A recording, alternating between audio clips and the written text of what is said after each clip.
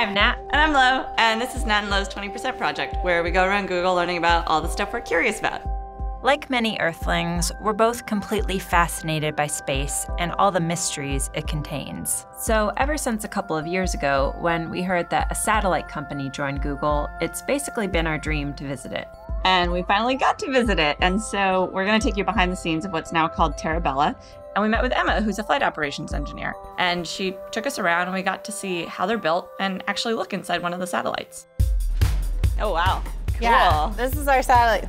And what makes this satellite different from like the hundreds or thousands of other satellites floating around? A lot of the other imaging satellites that get pictures as good as ours are like the size of a school bus or a mini school Whoa. bus. They're really big and a lot more expensive. But the Terra Bella satellites are cheaper and smaller, like the size of a mini fridge, because they have a much smaller telescope built with off-the-shelf electronics. The cameras on the satellite are basically the level of your cell phone camera, and that's because those are cheap and small. But Terra Bella makes up for it by doing a special kind of image processing on the ground. Instead of just taking one photo of a particular spot, the Terra Bella satellites take lots of different photos and then combine them all together to create a higher resolution image. Our four founders had this idea for delivering analytics about what's happening around the world using tiny little satellites. You guys are looking for patterns over time, or what sort of things are you looking for? Change over time. You can monitor climate change. You can see how ships are using the harbor. Or how much corn is being produced. How fast is deforestation happening? So if there was a natural disaster, an earthquake or a landslide, we'll take pictures of that and provide it through Google Crisis Response so that people can immediately grab it and see what's actually happening on the ground. So do you guys want to see where we actually put the satellite yeah. together? In the clean room, we met Fred, who puts together the satellites. And we were actually really surprised to learn that a really big component of that is tape. I don't think you'd be able to fly a spacecraft without tape. Just because it's lightweight, it's thin. And it's used everywhere. I'm like, this, this is tape. This is tape. The uh, payload is covered in this silver, silver material. It's all taped on. There's tape everywhere.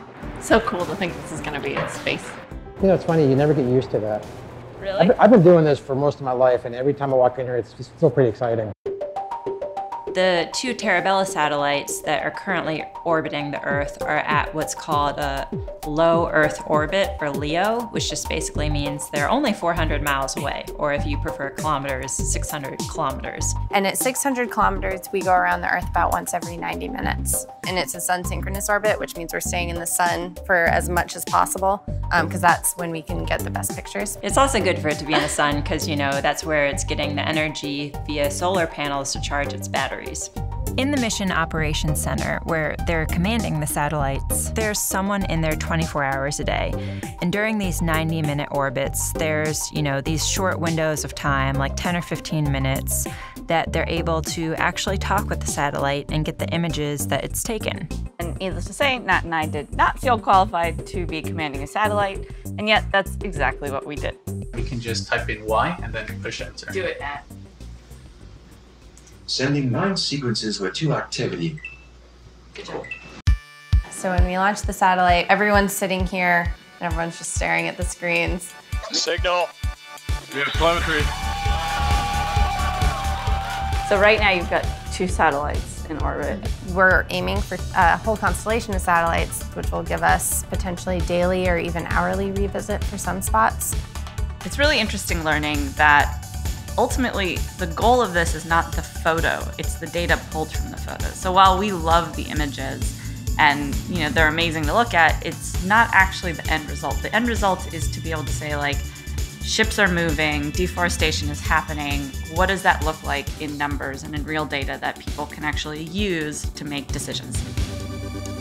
The pictures that come down just gives you a whole other perspective on the Earth. Just the fact that we're talking to a satellite in space. It kind of blows my mind if I really stop to think about it.